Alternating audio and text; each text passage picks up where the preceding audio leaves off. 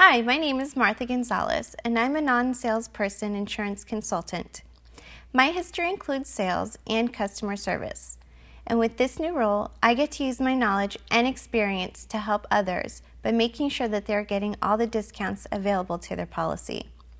By making notes and reviewing your policy, I get to look at inspections and already given credits to confirm which other credits can be offered to you and contact you to get the ball rolling on lowering your premium.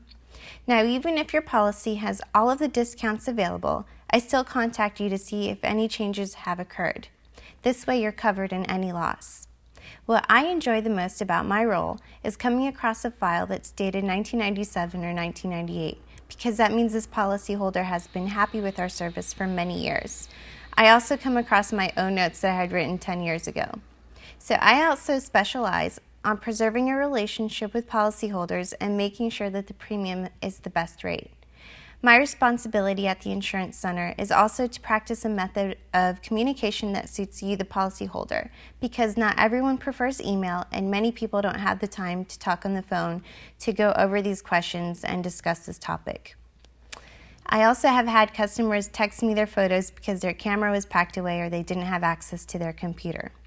I love and appreciate being a part of the team at the Insurance Center and make the most of it with sales and customer service because we're all in this together as a whole to see our policyholders pleased.